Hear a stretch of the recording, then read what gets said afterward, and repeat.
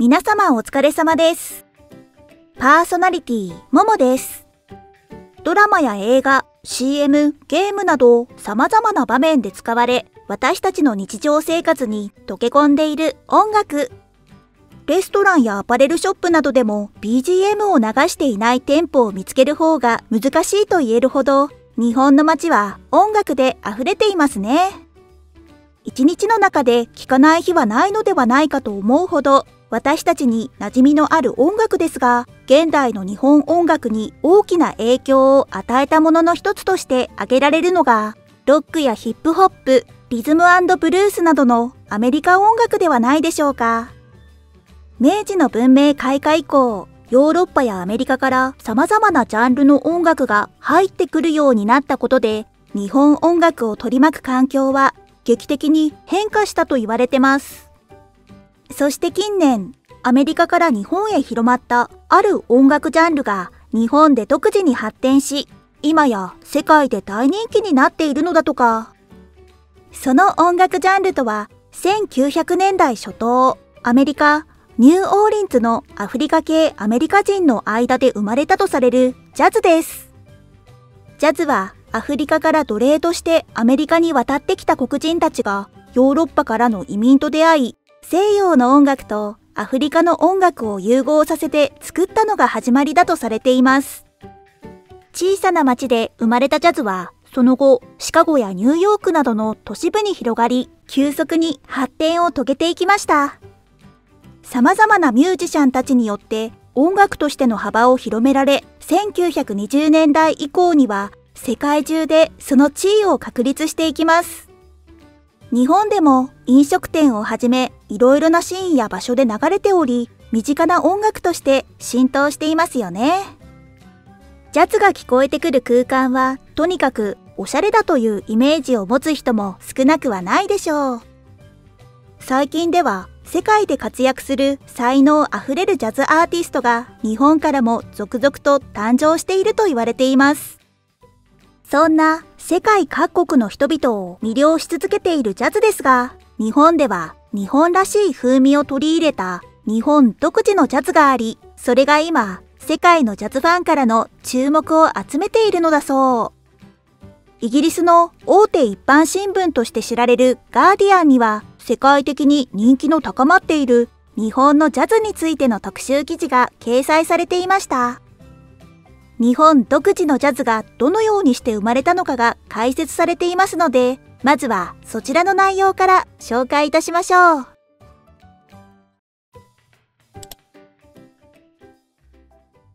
イギリス紙が取り上げた日本のジャズ。ジャズは間違いなくアメリカの芸術様式であり、ヒップホップと並んで米国最大の文化的業績である。1920年代から30年代にかけてアメリカのジャズミュージシャンは日本の都市をめぐり、それによって日本にも健全なジャズシーンが形成されていった。第二次世界大戦中、ジャズは適正音楽とされ禁止されてしまうが、日本でジャズの人気が衰えることはなかった。戦後はアメリカ軍がジャズのレコードを日本に持ち込む。そしてアメリカ兵たちの前でジャズを演奏する仕事に就く者が現れ、このことは日本にジャズミュージシャンが増えるきっかけとなった。好きなだけレコードを聴けるジャズ喫茶というものは日本だけに見られた現象である。一部の人たちにとってジャズは現代を伝える音だったのだ。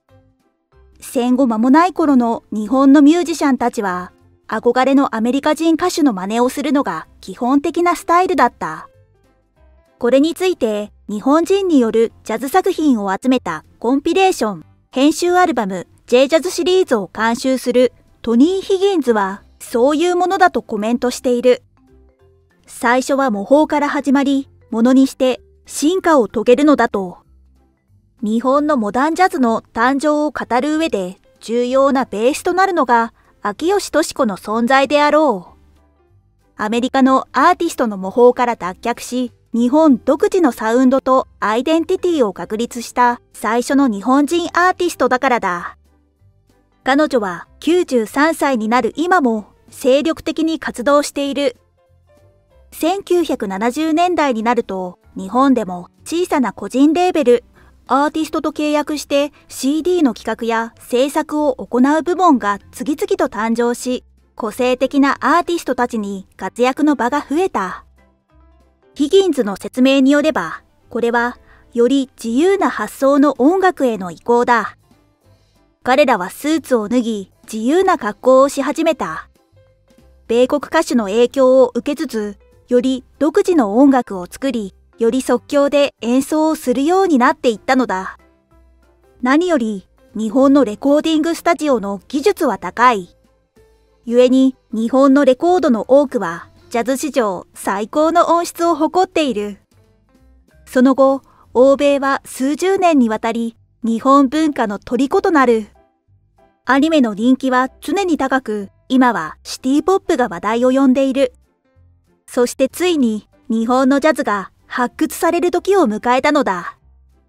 記事では最後に生前日本のジャズピアニストとして活躍した福井良氏が世界に再発見されたことなどにより日本のジャズの人気は世界的に高まっていると紹介していました。日本のジャズレコードのオリジナル版は近年高騰しているらしく、ヒギンズさんは、だからレコードを復刻したいんだと語っています。この記事に対しては、ジャズを愛するイギリスの人々から多くのコメントが寄せられていましたので、一部紹介いたしましょう。海外の反応現代の日本のポップやヒップホップには多くのジャズの要素が注入されている過去20年間はそういう状況が続いてるね。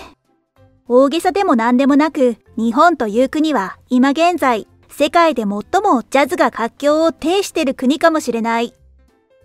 日本には現代にも素晴らしいジャズミュージシャンがいるよ。スリープウォーカー、ソイル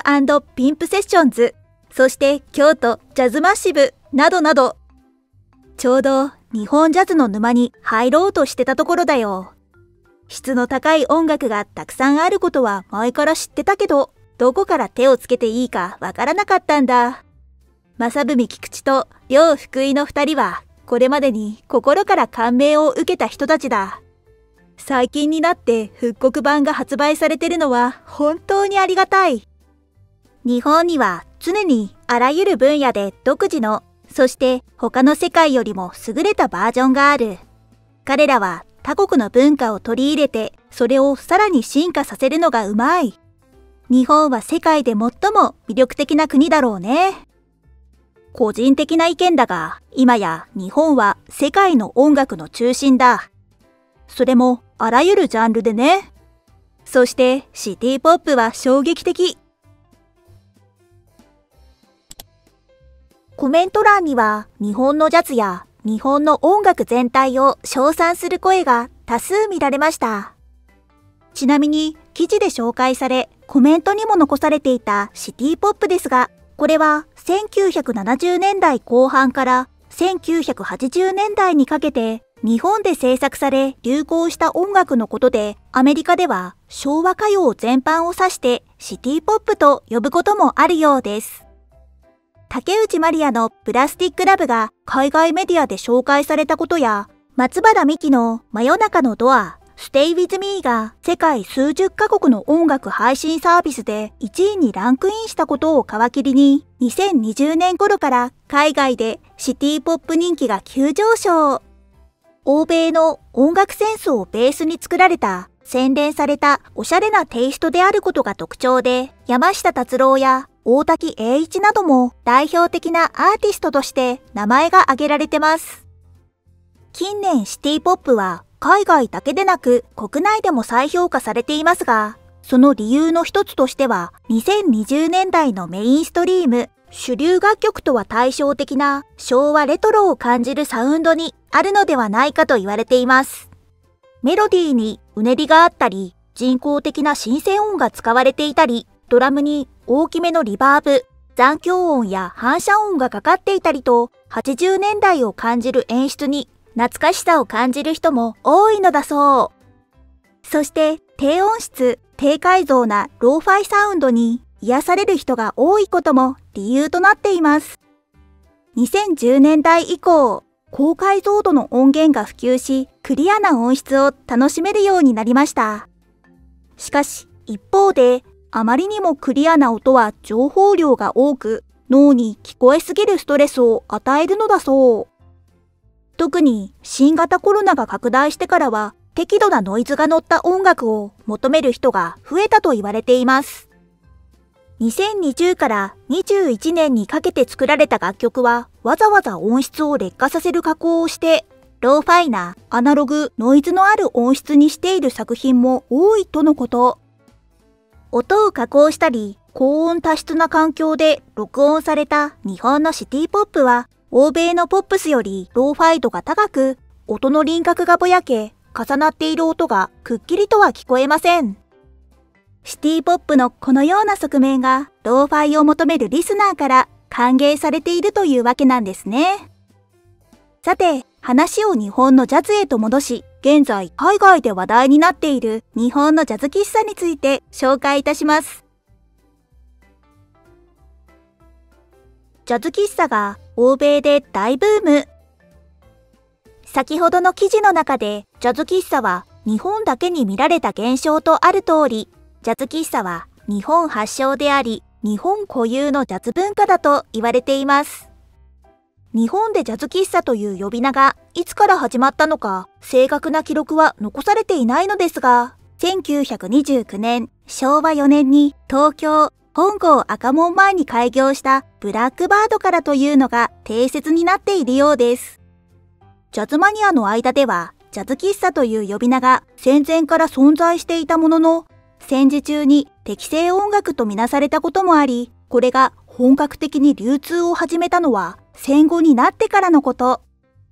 終戦直後の1940年代後半になると、戦前に営業していたジャズ喫茶が次々と復帰し、1955年から1956年あたりからはレコード鑑賞を目的とするジャズ喫茶がにわかに増えてきます。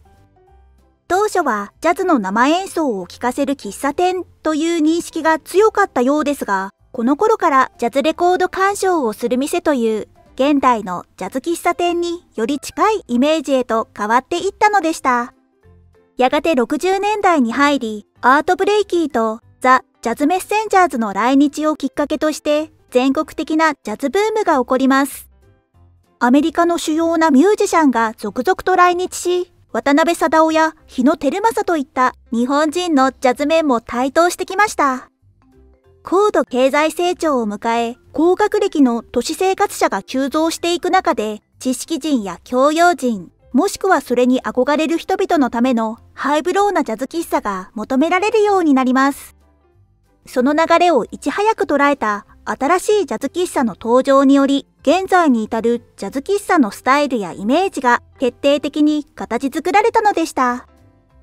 これまで現存する最も古いジャズ喫茶として知られていたのは、横浜市中区にある1933年創業のちぐさでしたが、2022年4月、約90年の歴史に一旦幕を下ろしました。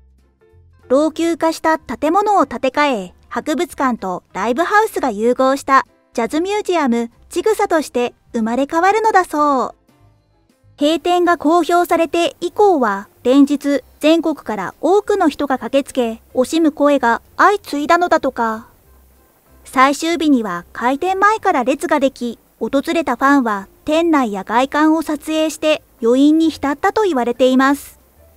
ちぐさの店内は3000枚を超えるレコードが壁一面に飾られ、革張りの茶色のソファーやタイルをはめ込んだテーブルなどの調度品が重厚な雰囲気を醸しており、国内外のジャズファンに愛されてきました。そして、このようなスタイルのジャズ喫茶が今、海外で一大ブームとなっているのです。来日した海外ミュージシャンたちがジャズ喫茶を訪れ、それを SNS で発信したことがブームのきっかけではないかとのこと。海外のジャズバーでは生演奏が一般的であり、レコード音源を静かに聴く時間を楽しむスタイルは世界的に稀。それが外国人に新鮮に受け止められたことに加え、黙って聞くというスタイルがコロナ禍にフィットし、アメリカやオーストラリア、ドイツなど欧米を中心にジャズ喫茶に影響を受けたバーが続々とオープンしているといいます。海外のネット上でもたびたび話題になり、日本のジャズ喫茶文化に対する様々なコメントが寄せられていますので、いくつか紹介いたします。海外の反応。日本のジャズ喫茶の雰囲気ってほんと最高だよな。ジャズ喫茶は今より増えるべき。世界にはこういったバーがさらに必要だ。日本の文化は俺たちの50年先を言ってるように思うよ。他の世界は魂を破壊するようなレースに巻き込まれてるけど、日本人は寿司や盆栽、庭園を見てもわかるようにシンプルな生活の中に美しさを見出している。東京に行って本場のジャズ喫茶に行ってみたい。日本みたいに静かに音楽を聴ける国は他にないからね。日本人は本当に魅力的な人たちだよ。今やジャズといえば日本を連想することが多いわけだけど、特に日本のゲームにはジャズがよく使われる。そのどれもが他では見られないスタイルなんだ。日本人はコンセプトを描き、そしてそれを完璧なまでに実行する。彼らの高い完成度に対する継続的な追求は刺激的でもあるが、同時に恐ろしくもある。日本人は人類の重要な魂を体現してるよ。コメント欄には日本のジャズ喫茶文化や一つの物事をとことん追求する日本人の姿勢を絶賛する声が多数寄せられていました。奴隷としてアメリカに移った黒人たちが様々な問題を抱えて生きていく中で心の拠り所として作り上げたジャズにはその空間を特別なものに変える魅力があるのでしょう。誕生した時から今日まで人々の心を動かし、体を動かしてきた素敵な音楽です。人と共に進化、発展していき、今ではジャズの中にも多様な種類が存在しています。そんな素晴らしい音楽ジャンルであるジャズに日本のアイデンティティを加えた和ジャズがこうして世界に認められているのは嬉しいことですよね。これからもジャズは日本を含めた世界各国で発展を続けていくことでしょう。いかがだったでしょうか？良ければコメントで感想を教えていただけると嬉しいです。高評価、チャンネル登録もよろしくお願いします。最後までご視聴いただきありがとうございました。また次回の動画でお会いしましょう。